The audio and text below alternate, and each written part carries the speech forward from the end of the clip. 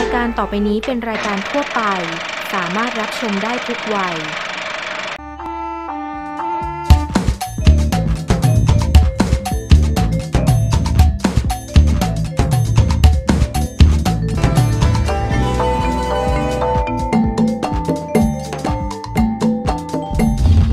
คนไทยหัวใจเดียวกัน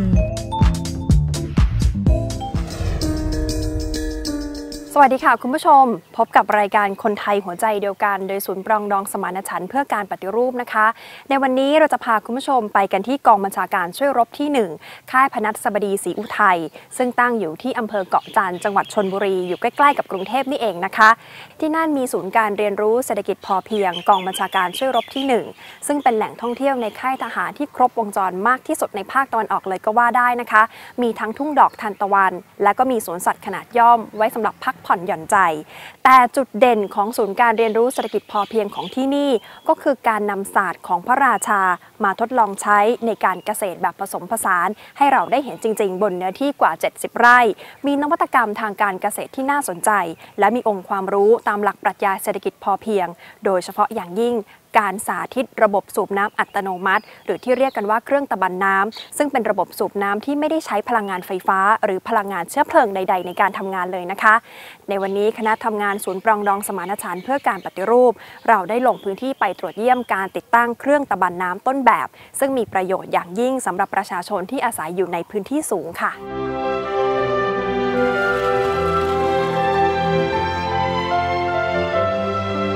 คุณผู้ชมครับสำหรับประชาชนที่อาศัยอยู่บนพื้นที่สูง การนำน้ำไปใช้ในการอุปโภคบริโภคนั้น ย่อมมีข้อจำกัดหลายประการนะครับ บางพื้นที่มีลำน้ำตามธรรมชาติไหลผ่าน ก็ยังพอจะพัฒนาให้มีระบบประปาภูเขาได้ แต่สำหรับพื้นที่ที่ไม่มีลำน้ำไหลผ่าน จะต้องใช้น้ำจากแหล่งน้ำในพื้นที่ราบลุ่ม สูบขึ้นไปใช้ในบนพื้นที่สูงหรือบนภูเขานั้น จะต้องใช้พลังงานในการสูบน้ำซึ่งก็จะมีค่าใช้จ่ายในการสูบน้ำตามมาจำนวนมากนั่นเองครับ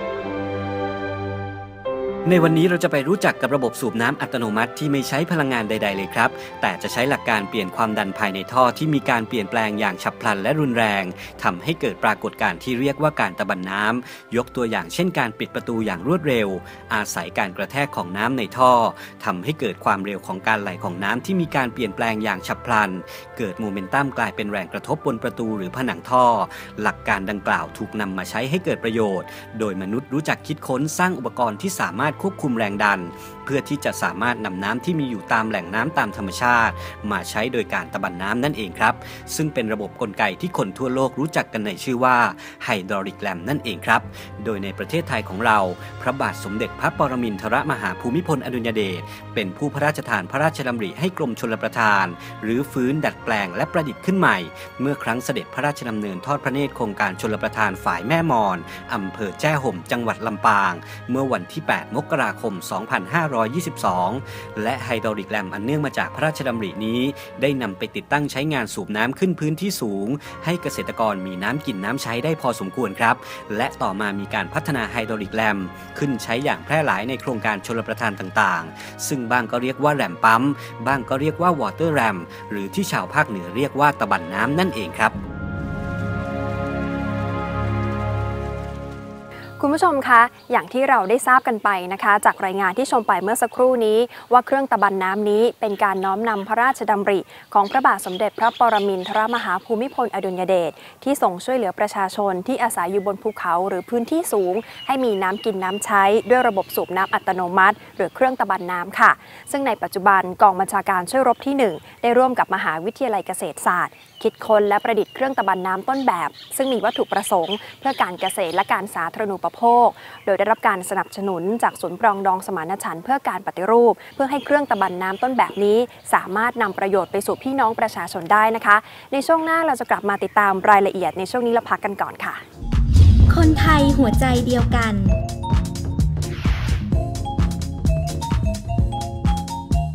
ตามที่ศูนย์ปรองดองสมานฉันท์เพื่อการปฏิรูป ได้มีโครงการต่างๆ ในการช่วยเหลือและบรรเทาความเดือดร้อนให้กับพี่น้องประชาชน ซึ่งเป็นไปตามหลักในการสร้างความสามัคคีปรองดองให้กับคนในชุมชน นั่นก็คือการทำให้ประชาชนมีคุณภาพชีวิตที่ดีขึ้นเสียก่อนนะคะ ซึ่งกองบัญชาการช่วยรบที่หนึ่งนั้น ถือเป็นหน่วยงานที่มีความพร้อมในการที่จะเป็นศูนย์กลางในการเผยแพร่ความรู้ให้แก่ประชาชน อีกทั้งยังมีความน่าสนใจในด้านอื่น ๆ ที่จะดึงดูดให้พี่น้องประชาชนและเยาวชน เดินทางเข้ามาศึกษาหาความรู้ที่นี่ด้วยค่ะ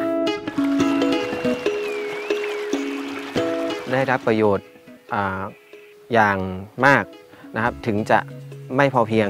แต่ก็ช่วยแก้ปัญหาได้นะครับในการขาดแคลนน้ำก็คือทั้งการเกษตรของนักเรียนนะฮะทั้งดื่มนะครับทั้งใช้อย่างน้อยเราจะได้มีน้ำใช้ในหน้าหน้าแล้งหรือในตอนที่เราไม่มีน้ำใช้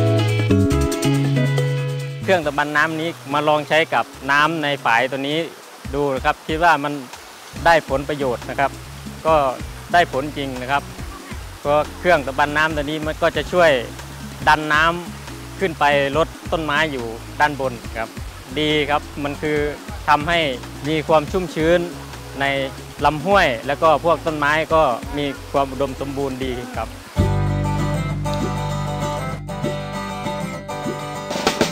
คุณผู้ชมครับ ที่กองบัญชาการช่วยรบที่ 1 ค่ายพนัสบดีศรีอุทัยอำเภอเกาะจันทร์จังหวัดชนบุรีนั้น เป็นหน่วยทหารในสังกัดกองทัพภาคที่ 1 ที่มีความโดดเด่นในด้านการนำศาสตร์ของพระราชา มาเผยแพร่และเป็นแหล่งเรียนรู้ให้กับประชาชนที่สมบูรณ์ และครบวงจรมากที่สุดในภาคตะวันออกนะครับ บนเนื้อที่กว่า 70 ไร่ของศูนย์การเรียนรู้เศรษฐกิจพอเพียงกองบัญชาการช่วยรบที่ 1 จะมีการสาธิตการทำการเกษตรแบบผสมผสาน และการสาธิตองค์ความรู้ต่างๆ ทางด้านการเกษตรไว้มากมายเลยครับ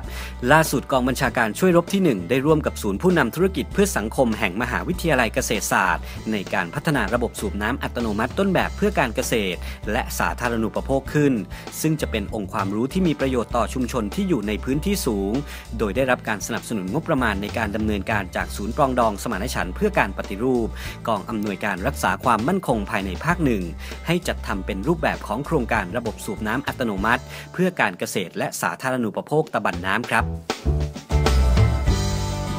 จัดทำเครื่องตะบันน้ำของกองบัญชาการช่วยรบที่หนึ่งนี้นะครับ เพื่อที่จะเป็นต้นแบบนะครับในการที่จะศึกษาว่าการที่จะใช้เครื่องตะบันน้ำเนื่องจากว่าในบางพื้นที่เนี่ย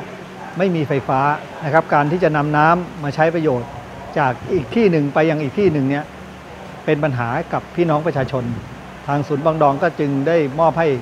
กองบัญชาการช่วยรบที่หนึ่งเนี่ยลองมาจัดทำดูซิว่า ใช้ความโน้มถ่วงของโลกเนี่ยมาใช้ประโยชน์ในการที่จะนำน้ำนะครับจากที่สูงลงมาที่ต่ำเนื่องจากว่าทำตรงนี้เนี่ยเขาทำเต็มรูปแบบใช้งบประมาณค่อนข้างสูงนะครับ แต่ขณะเดียวกันเนี่ยถ้าจะไปใช้ที่อื่น เราก็บอกว่าต้องไปประยุกต์ใช้นะบางอย่างวัสดุ หรือว่าเครื่องตะบันน้ำเองอาจจะมีขนาดเล็กลงไปกว่านี้ เพื่อให้สอดรับกับงบประมาณนะที่จะได้รับนะครับ ก็ต้องไปดูว่าพื้นที่เหล่านั้นเนี่ย จะต้องมีแหล่งน้ำที่สามารถใช้ได้ทั้งปีนะครับถึงจะมีความคุ้มค่า ถ้ามีแหล่งน้ำและต้องการน้ำลงมาใช้ในพื้นที่ด้านล่างนะครับต้องมีองค์ประกอบของมัน ถ้าครบองค์ประกอบก็สามารถที่จะนำไปประยุกต์ใช้ได้ครับ โครงการนี้ก็จะทำเป็นต้นแบบนะครับเนื่องจากว่ามีศูนย์การเรียนรู้ของกองชาการช่วยรบที่ 1 ตั้งอยู่ด้วย เราก็จะประชาสัมพันธ์ เชิญชวน ไม่ว่าจะเป็นภาครัฐ ภาคเอกชน หรือว่าหน่วยงานต่างๆเนี่ยครับเข้ามาดูว่ามันสามารถ ทำได้จริง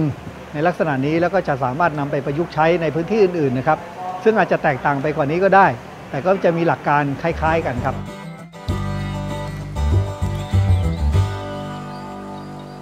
เครื่องตะบันน้ำนี่ก็คือเริ่มต้นก็คือเราเราได้ทำ MOU กับมหาวิทยาลัยเกษตรนะครับในเรื่ององค์ความรู้ต่างๆ โครงการตะบันน้ำเนี่ยเป็นโครงการพระราชดำริลำดับที่ 6 ของในหลวงรัชกาลที่9นะครับที่ทรงคิดขึ้นนะครับสำหรับช่วยเหลือพวกชาวเขา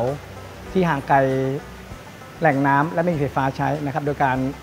ใช้แรงโน้มถ่วงของโลกเนี่ยมาผลักดันน้ำเข้าที่สูง แล้วก็กระจายไปสู่พื้นที่เกษตร จุดเด่นของเครื่องตะบันน้ำก็คือเอเราจะใช้แรงดันของน้ำจากแหล่งน้ำธรรมชาติเนี่ย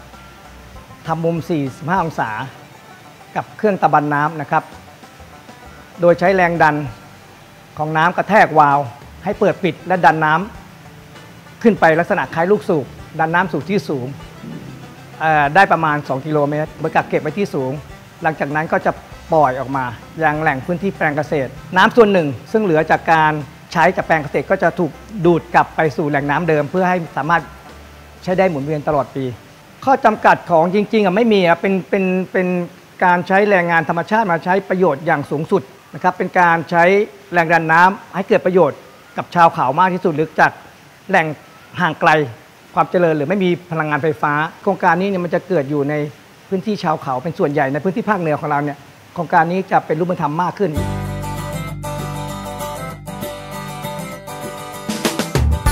สำหรับเครื่องตะบันน้ำต้นแบบที่พัฒนาขึ้นนี้นะครับกองบัญชาการช่วยรบที่ 1 ได้ติดตั้งและสาธิตการใช้งานจริง โดยดำเนินการสำรวจแหล่งน้ำและศึกษาการวางแนวท่อ ที่จะสนับสนุนการทำงานเครื่องตะบันน้ำได้ โดยติดตั้งเครื่องตะบันน้ำโมเดล P60T ซึ่งมีรูปแบบการวางท่อรับน้ำเข้าสู่เครื่องขนาด 6 นิ้ว จากแหล่งน้ำตามธรรมชาติระยะทาง 366 เมตร และวางท่อขนาด 2 นิ้วสำหรับจ่ายน้ำใช้ เป็นระยะทาง 1,700 เมตรครับเพื่อสูบน้ำขึ้นที่สูงกักเก็บน้ำไว้ใช้ในศูนย์การเรียนรู้เศรษฐกิจพอเพียง โดยมีถังสำหรับรองน้ำขนาด 10,000 ลิตรจำนวน 6 ใบด้วยกันครับ นอกจากนี้ยังมีการดำเนินการติดตั้งเครื่องตะบันน้ำโมเดล P20T ซึ่งเป็นลักษณะการวางท่อรับน้ำเข้าสู่เครื่องขนาด 6 นิ้ว จากล่องน้ำแปลงเกษตรระยะทาง 372 เมตร และวางท่อจ่ายน้ำขนาด 1 นิ้ว เป็นระยะทาง 450 เมตร จากเครื่องกลับเข้าสู่แหล่งน้ำตามธรรมชาติอีกครั้งหนึ่งครับ จุดประสงค์ก็เพื่อการตะบันน้ำที่เหลือจากการตะบันน้ำครั้งแรก กลับเข้าสู่แหล่งน้ำตามธรรมชาตินั่นเองครับ โครงการนี้เป็นโครงเป็นศาสตร์พระราชานะครับ เป็นโครงการพระริเอ่อไม่ไม่มีลิขสิทธิ์ ใครก็สามารถที่จะไปเผยแพร่ก่อเกิดประโยชน์กับชุมชนในในส่วนของเราเนี่ยเราเป็นต้นแบบของกองทัพบก เป็นต้นแบบของชุมชนรอบค่าย เป็นต้นแบบของคนที่มาดูงาน เพื่อเอาไปต่อยอดกลับไปอยู่ชุมชนของตัวเอง ครงการนี้ทางมหาลัยเกษตรเนี่ยก็ร่วมมือกับเรา แล้วก็เอาโครงการเราเนี่ยไปเผยแพร่ เอาคนมาดูงาน แล้วก็ไปทำยังพื้นที่ห่างไกลหลาย ๆ จุดในพื้นที่ภาคเหนือ มีจำนวนมากหลายหมู่บ้านกำลังทำอยู่ครับ ต้นทุนจริง ๆ เนี่ยอยู่ที่ระยะทาง ถ้าระยะทางจากแหล่งน้ำดิบธรรมชาติเนี่ยมาสู่เครื่องตะบันน้ำเนี่ยใช้ระยะทางไม่ไม่ไกลมากนัก เพียงแต่มีความลาดและมีความต่างของเครื่องตะบันน้ำกับแหล่งน้ำสัก4ี่ห้าองศาเนี่ยก็ใช้ทุนไม่มาก แล้วก็จาก เครื่องตะบันน้ำขึ้นไปสู่ยังหอคอยเก็บน้ำเนี่ยถ้าพื้นที่ตรงนั้นไม่ไกลมากนักก็ใช้ไม่มาก โดยเฉพาะเครื่องตะบันน้ำซึ่งผลิตจากมหาวิทยาลัยเกษตรเนี่ยค่าใช้จ่ายอื่นอยู่ที่ระยะทางของของท่อ อันแรกเราทำเป็นของจริงเลย เราดึงน้ำจากแหล่งน้ำเนี่ยมาเข้าอยู่ศูนย์การเรียนรู้โดยใช้ระยะทางประมาณ 8 800 เมตร มาเข้าสู่เครื่องตะบันน้ำหรือเครื่องผลักดันน้ำจะดันน้ำจากเครื่องตะบันน้ำไปสู่ถังเก็บไปอีกประมาณ 800 เมตร บนเนินเขา แล้วก็จะปล่อยน้ำมาใช้นะครับ เป็นโครงการของจริงทำจริง อันที่สองคือเราทำเป็นโมเดล เป็นต้นแบบสามารถเป็นการเรียนรู้ในห้องเรียนอะเป็นห้องเรียนสำหรับเรียนรู้ง่าย ๆ และเห็นภาพได้ทั้งหมดจำลองภาพสมัยที่บาทสมเด็จพระเจ้าอยู่หัวรัชกาลที่9เนี่ยเสด็จไปเยี่ยมชาวเขา และโครงการนี้พระองค์ท่านเห็นชาวเขาต้องเดินอ้อมเขามาเอาน้ำจากหน้าเขาไปใช้หลังเขามาเช้ากับเย็นานก็เลยคิดต้นแบบเนี้ยโดยการดึงน้ำจากแหล่งธรรมชาติเนี่ยขึ้นไปไว้บนเขาแล้วปล่อยลง ชาวบ้านก็สามารถใช้ได้ตลอดเวลาโดยไม่ต้องเสียเวลาเดินเหมือนสมัยก่อนนี่เป็นโครงการแบบประโยชน์เห็นเด่นชัด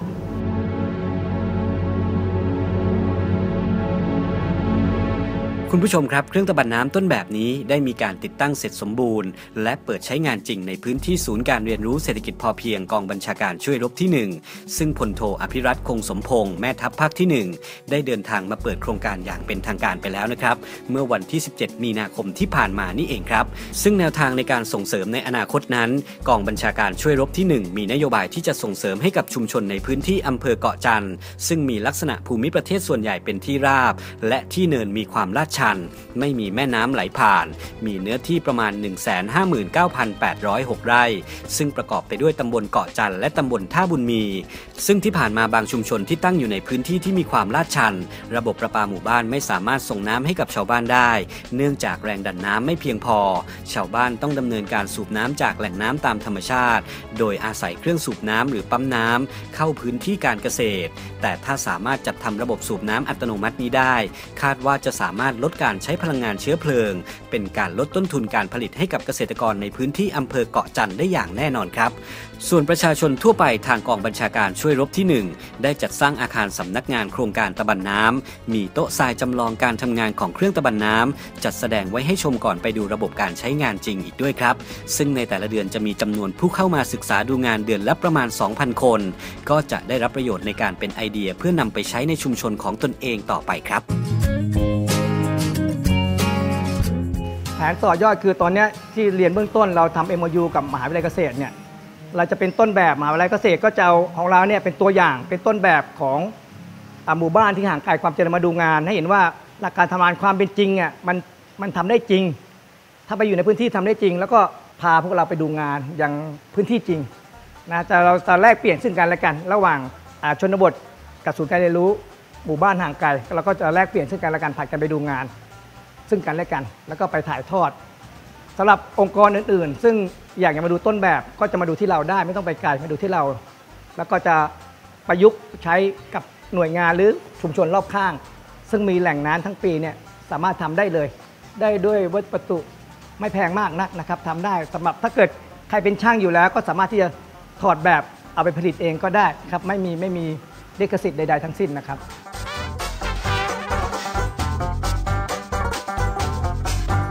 ก็เนื่องจากว่าทางกองบัญชาการช่วยรบเนี่ยนะครับ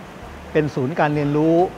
นะแล้วก็มีกิจกรรมมากมาย ทั้งเกษตรธรรมชาติ มีสวนสัตว์ขนาดเล็ก เป็นแหล่งพักผ่อนให้กับนักท่องเที่ยว แล้วก็พี่น้องประชาชนในพื้นที่ใกล้เคียงอยู่ด้วย มีความเหมาะสม เนื่องจากว่ามีคนเนี่ยหมุนเวียนเข้ามานะการที่เขาจะได้เข้ามาดูแล้วเพื่อที่จะนำไปเผยแพร่ต่อยอดเนี่ยมันน่าจะกระทำได้ง่าย นะครับทางกองทัพภาคที่หนึ่งเองก็คงจะเพ่งเล็งในถึงจุดนี้ด้วยนะครับก็มีความสอดคล้องนะครับมันจะได้เป็นการเผยแพร่ออกไปสู่สาธารณะได้เร็วขึ้นครับจุดประสงค์สำคัญเราอยากจะให้เผยแพร่ไปสู่พี่น้องประชาชนนะครับถ้าสามารถต่อยอดกระจายความรู้ต่างๆ เหล่านี้เนี่ยลงไปถึงพี่น้องประชาชนเพื่อช่วยเหลือบรรเทาปัญหา แล้วก็สร้างความกินดีอยู่ดีให้กับพี่น้องประชาชนนะครับ จะเป็นจุดมุ่งหมายสูงสุดของศูนย์ปรองดองครับ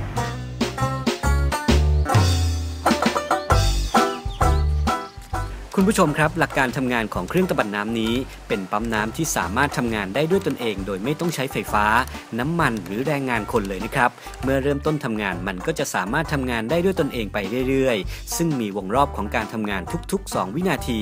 จึงมีผู้เรียกเครื่องตะบันน้ำว่าเป็นปั๊มน้ำที่สามารถทำงานได้ด้วยตัวเอง หรือ self acting lamp ปั๊มซึ่งนั่นก็หมายความว่า ตราบเท่าที่ยังมีน้ำจากแหล่งน้ำจ่ายให้กับปั๊มอย่างสม่ำเสมอ เครื่องตะบันน้ำนี้ก็จะทำหน้าที่สูบน้ำขึ้นไปใให้กับคนในชุมชนได้อย่างสม่ำเสมอครับ ซึ่งเป็นการนำพลังงานที่เกิดจากธรรมชาติ ที่ไม่มีค่าใช้จ่ายในการทำงานเหมือนพลังงานประเภทอื่น มาประยุกต์ใช้ให้เกิดประโยชน์สูงสุดนั่นเองครับ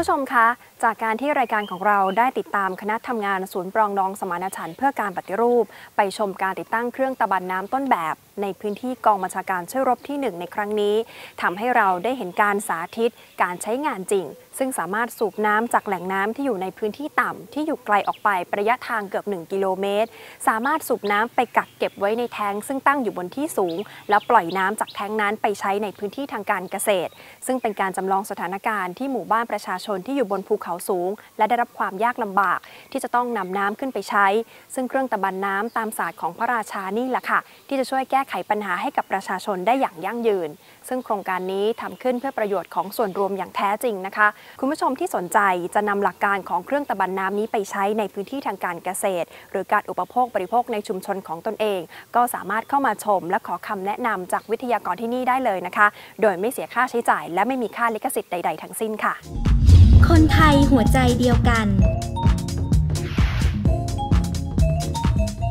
คุณผู้ชมคะไหนๆเราก็ไปถึงค่ายพนัสบดีศรีอุทัยแล้ว อย่างที่บอกนะคะว่าค่ายนี้นั้นเป็นแหล่งท่องเที่ยวในหน่วยทหารที่ครบวงจรมากๆ ประชาชนที่ไปเที่ยวแล้วก็จะได้รับความรู้และไอเดียดีๆ กลับมาบ้านอย่างแน่นอนค่ะ การเดินทางไปตรวจเยี่ยมการติดตั้งเครื่องตะบันน้ำในครั้งนี้ ทางคณะทำงานศูนย์ปรองดองสมานฉันท์เพื่อการปฏิรูป ก็ได้ไปเยี่ยมชมบรรยากาศโดยรอบของค่ายพนัสบดีศรีอุทัยด้วยนะคะ ไปชมกันเลยค่ะ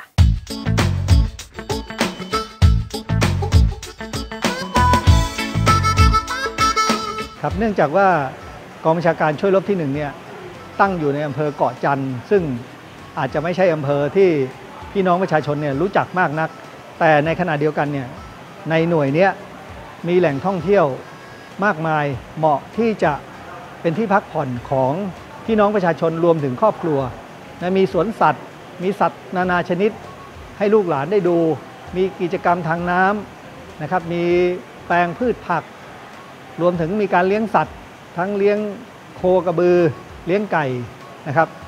หน้าที่จะได้เข้ามาศึกษาทั้งในแง่ของการทำอาหารกินนะครับ และในแง่ของการพักผ่อน ผมก็ขอเชิญชวน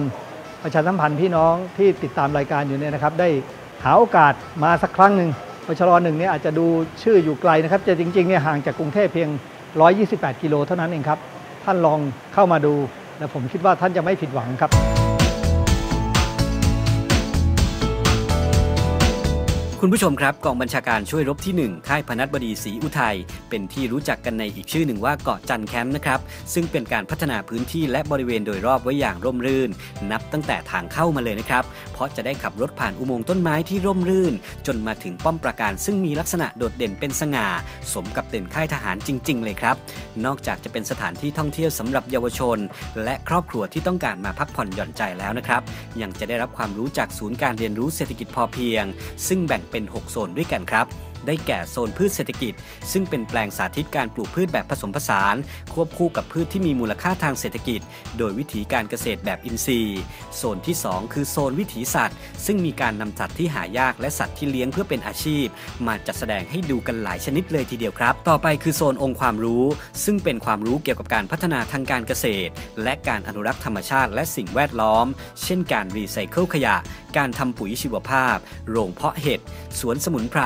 โรงเรียนสร้างฝายในหลวง และเครื่องตะบันน้ำต้นแบบตามศาสตร์พระราชาครับ นอกจากนี้ยังมีกิจกรรมเสริมสร้างนันทนาการ เรียกว่าโซนเสริมสร้างทักษะและออกกำลังกาย และโซนสวนสนุกเด็กเล็ก เพื่อให้เด็กเล็กได้เพลิดเพลินกับการขี่ม้า ให้อาหารปลา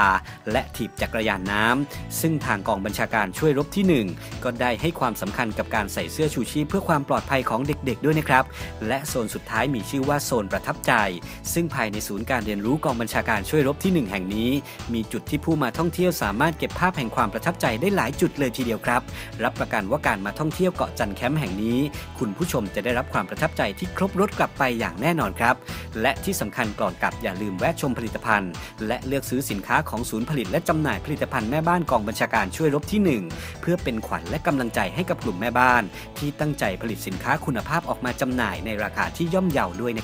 ครับในในส่วนของกองบัญชาการช่วยรบที่หนึ่งของเราเนี่ยอยู่ค่ายพนัสบดีศรีอุทัยอำเภอเกาะจันทร์ชลบุรีนะครับห่างจากกรุงเทพ 128 กิโลเมตรนะครับเราถือว่าเป็นแหล่งท่องเที่ยวในหน่วยฐานแห่งหนึ่งของกองทัพบกนะครับเรามีองค์ความรู้ในศูนย์การเรียนรู้ ซึ่งครบองค์ประกอบหลายส่วนนะครับหรือแม้แต่สวนสนุกเข้าไปในศูนย์การเรียนรู้ด้วย มีเรือทีบ มีขี่ม้า มีขี่นกกระจอกเทศ แล้วมีสวนสัตว์ขนาดเล็กให้เด็กได้เข้าชม หน่วยเราเนี่ยมีหน่วยโรงเรียนต่างๆ สถาบันศึกษาต่างๆเนี่ยมาหมุนเวียนมาเข้าค่ายเรา2วัน3คืนบ้างตลอดเวลา ในช่วงเนี้ยมีแต่นักท่องเที่ยวในในรอบค่ายเราและจังหวัดรอบค่ายข้างข้างเคียงเนี่ยจะมาดูงานเราประมาณ 4,000 คนต่อเดือนนะครับจะมามุมถ่ายรูปต่างๆเนี่ยจนปัจจุบันเนี่ยทางชลบุรีจังหวัดชลบุรี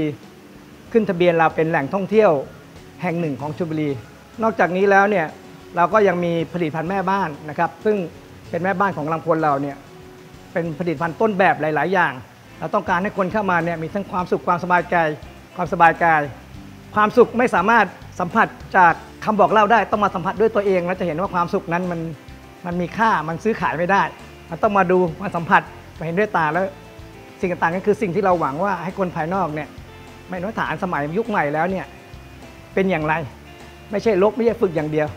เราให้องค์ความรู้ด้วย เราให้ความสุขชาวบ้านด้วย เราให้สิ่งดีๆ คืนสู่สังคม รอบค่ายนี่คือสิ่งที่ทหารทุกหน่วยกำลังทำอยู่ เป็นทั้งองค์ความรู้ เป็นทั้งศาสตร์พระราชา เป็นทั้งแหล่งท่องเที่ยว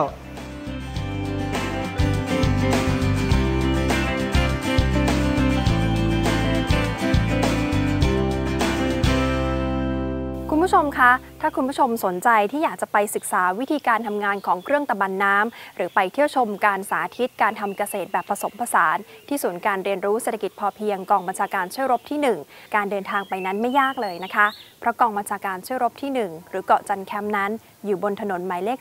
331 หรือที่คนทั่วไปเรียกกันว่าถนนระยองโคราชนั่นเองค่ะ สำหรับวันนี้หมดเวลาของรายการคนไทยหัวใจเดียวกันแล้วนะคะ กลับมาพบเราได้ใหม่ทุกวันเสาร์และอาทิตย์เวลาเดียวกันนี้สำหรับวันนี้สวัสดีค่ะ คนไทยหัวใจเดียวกัน